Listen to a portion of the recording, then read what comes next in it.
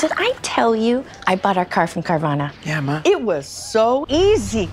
I found the perfect car. Under budget, too. And I get seven days to love it or my money back. I love it. I thought online meant no one to help me. But Susan from Carvana had all the answers. She didn't try to upsell me. Not once. Because they're not salespeople. what do you guess who just checked in on me? Mom. Susan from Carvana.